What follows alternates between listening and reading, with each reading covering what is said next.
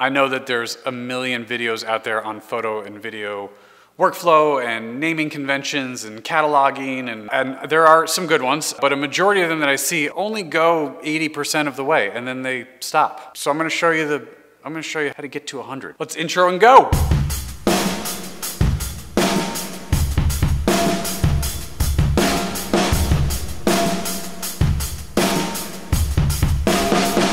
Welcome back. It's good to see you Real quick before we get into workflow and naming and all that stuff, it was a big week for me. I sold my camera and lenses and went with an entirely different system. And I went and bought myself a Phase One, the, the new trichromatic system, which I've played with quite a bit and really fell in love with and thought, that's for me. So that was exciting. A couple people asked me, would I do an unboxing video? What a great idea for a video. So the, the package came on, on Monday and I set the entire studio and and I started to cut and open. And as I started to open, I realized that they didn't send me the like the box that the camera comes in and the box that the somebody had already unboxed it in in New York and had assembled a beautiful Pelican case with all of these components in it. I did it anyway, and, and then I got through the edit and I thought, this is the most boring video I've ever seen. I will share it with you. I've condensed it down to 15 seconds, which I think is just enough time. You'll, you'll get the gist. Check it out.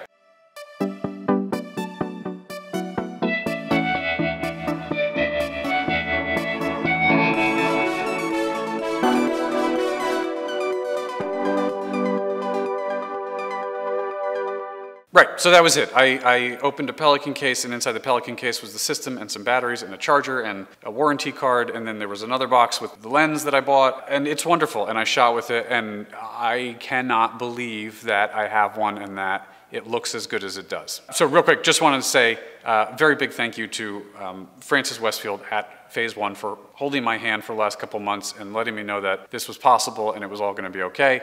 And also to PhotoCare in Manhattan, Anthony Festa and John Schlesinger for making it all come together and making sure that I got the boxes on Monday. So um, thank you to everybody.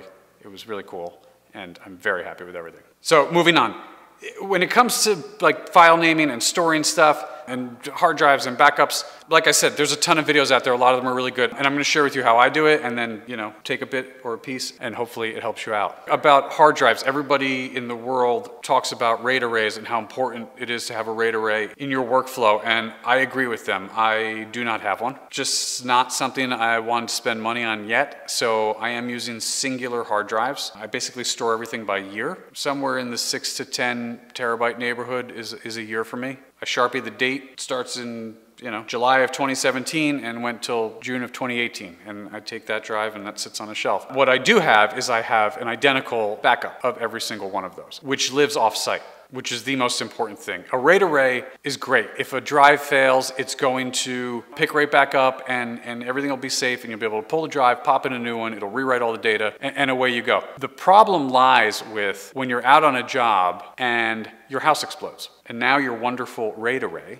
uh, all the drives in that array, as many as you have, um, are all exploded and all the data is gone. So you gotta have offsite backup. To me, the most important thing. And yes, someday soon I will purchase a very large RAID array and I will then do a video on that maybe. I have a series of working drives that I use. I have a main drive and a backup drive. They are one terabyte SSDs. And so anything that I'm currently working on is on those drives. And no, they don't stay in the same place. Once I'm done with a job, it goes onto the yearly drive and it remains there and the backup offsite, which happens usually every couple of days. So at, at most, I'm only ever losing a tiny bit. But let's dive in here. This is my current working drive. Things in green are things that are actively being worked on. Things in red are things that have just finished and need to be transferred over. So I'll take you in real quick. I'm just gonna show you, this is how I set up my naming conventions. Like I said, I store everything by year. This happened to be a video job that happened on August 6th for a series called Audio Pilot Live. And it was a guy named Jordan. And so the file naming is 2018 0806 APL, and then the artist was Jordan. Once we get in, we have a series of folders in there. We've got three cameras. This was a video job. Camera A, camera B, camera C. We then had a musical backing track, so there's that. And then my Premiere folder, which is where all my Premiere stuff is. And then my exports folder, which is where all of the finished edits export to. And they all share the same file naming convention as their parent folder. So as we keep going through folders, we just keep adding on to the end of it. First folder was 2018 0806 APL Jordan. We go inside, now it's 2018 0806 APL Jordan ACAM. I've seen a lot of people that, that do this naming convention up top here, and then when they when you dive into the folder, it's ACAM, BCAM, uh, audio, you know, or they or they label it by camera. Here's my 5D4. Here's my 1DX. The problem is now you have thousands of folders called 1DX. You have thousands of folders called 5D4. And you're, you're not really doing your best to protect it. So now they plug in their SD card and they download all of the files off their camera. And what happens is you download whatever the camera has named it and away you go. The problem is that file names in cameras repeat.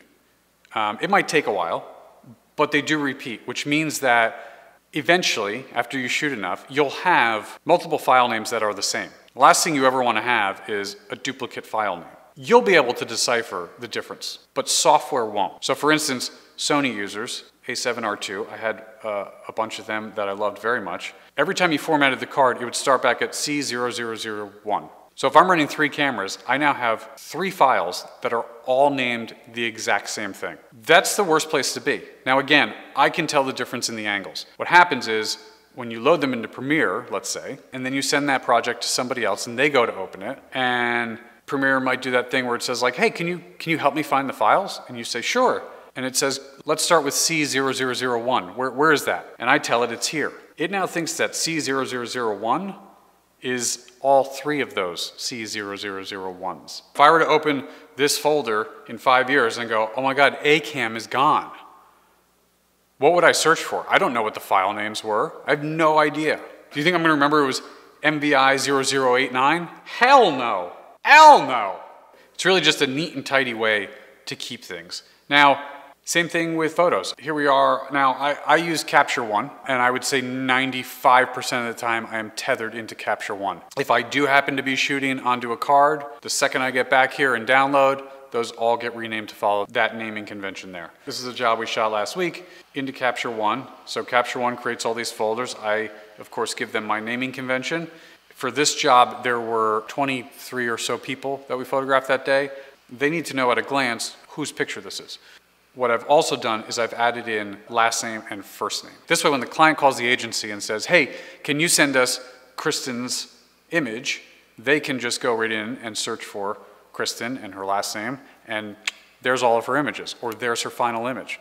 I like this structure. I would love to hear somebody else who has a better way of doing it because I'm always constantly searching for a better way and a more efficient way to do things. So please, let me know. Leave a comment. Give me a call. Send me an email protect your data, you know? At any rate, thanks for watching. If you walked away with a tidbit of info that was helpful to you, great. Maybe you'll hit that like button. Uh, if you haven't already, please subscribe, and I'll see you next week.